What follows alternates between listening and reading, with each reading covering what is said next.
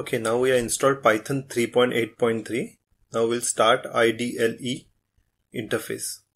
So go to search bar, type IDLE, select IDLE app. A new window will open called as Python 3.8.3 shell.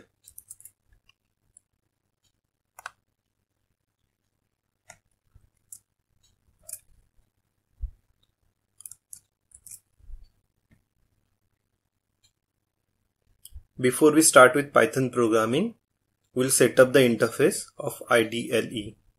So go to options, go to configure IDLE, a setting window will open. In that, if you can see fonts and tab, in that we can, there is option font face. So font face can be used to select different fonts for our interface. So right now it is Courier new. You can select other options also. Below that there is a size option and also if you want font to be bold or not. So you can select the size of the font for your interface. Right now it is 25 if you want you can change the value. The indentation width is also 4 spaces. By default if you want you can change it. Now if we go to highlights there are themes there are built-in themes. So built-in theme IDLE classic. So right now we are in built-in theme IDLE classic. If you want you can select IDLE dark I am saying apply. Now you can see the background. Background of the shell has become black. So this is another theme. For our purpose, we will take IDLE classic. You can also make custom made themes like suppose there is a word def which is a keyword in Python and you want to change the color for that you can go and choose the color. So if I go and choose the color and make it orange sorry uh, make it red. So I have to save this theme by name. So I'm writing test 1 okay. So you can see that that has changed the color to pink. Now the background can be also changed. So right now background is red I can ch choose the background as say dark green. So it becomes a dark green. Now if I say apply all keywords will be in pink color and background will be dark green. For our current purpose we will use built-in theme IDLE classic. Apply. Okay. Okay now we'll start with our python so we'll type a simple command and then see the output. So I'm typing a command print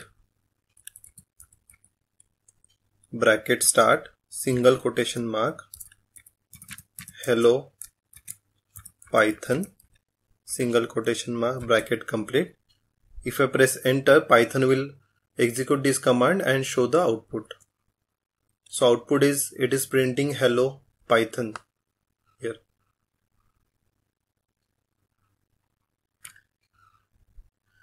This is a command to print message hello python on the screen. Syntax for this command is print bracket argument. In this case argument is a set of characters also called as string. A string is always enclosed in single quotation mark or double quotation mark. Okay now if you look at the word print it is in purple color.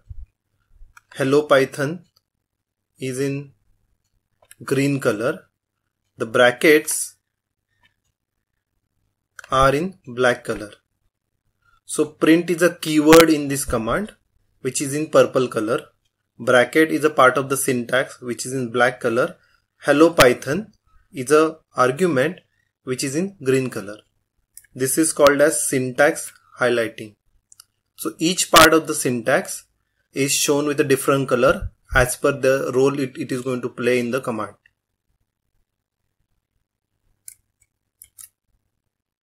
We can type one more command print bracket start. We'll start with double quotation mark, double quotation. We are new to Python 3 double quotation mark bracket complete enter. So with double quotation mark also the print command behaves in the same way. Now if we type pr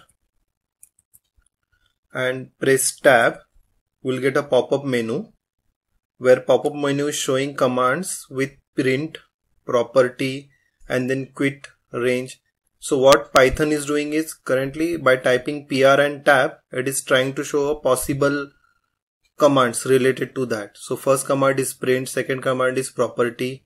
So print and property are the command that starts with PR. So it is trying to predict what we are typing.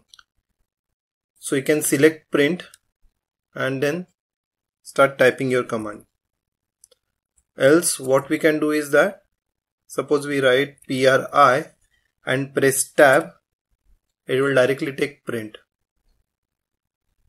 Because print is the only command where pri is there. So once we type pri and tab it will take print as a command and type it. This is called as auto completion. We can save these commands in a file for later use. These files are called as script files. To open the script file we can go to file new file a new window will open.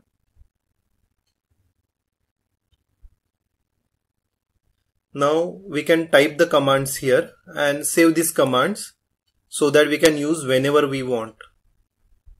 So right now the file is untitled. So there is no title to this file. Suppose I write command print bracket. This is first line bracket complete. Now what we'll do we'll save this file. So I'm going to file save as. I'm giving name to this I am saving on desktop. I'm giving name to this file as test python save now this file is saved as test underscore python on the desktop of this computer. Now if you look at the top part of the window there is a test python.py now this is the name of the file. C colon user rohan desktop test underscore python.py is the address of this file. And at the end there is 3.8.3 is a version of the python in which the this particular file is saved. Now suppose we take one more command print.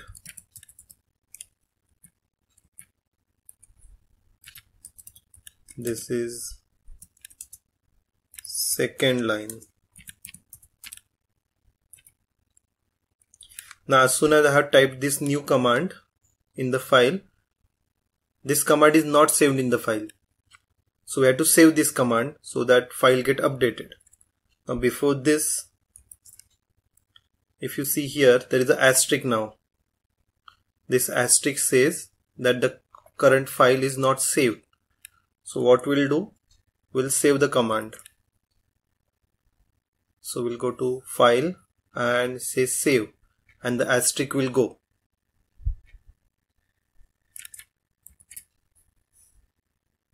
Now if you look at bottom and bottom right hand side of the this window, you can see ln3 col0. ln3 col0 it shows current position of this uh, current position of the cursor in the file so if I put cursor here in between you can see it is line 2 column 11 if I put the cursor here it says line 2 column 23 if I put here it says line 1 column 15 now as our file is saved we'll run this file. So we have for to run the file we have to go to run and select run module now you can see that the output has been printed. This is the first line. This is first line. This is second line. Thank you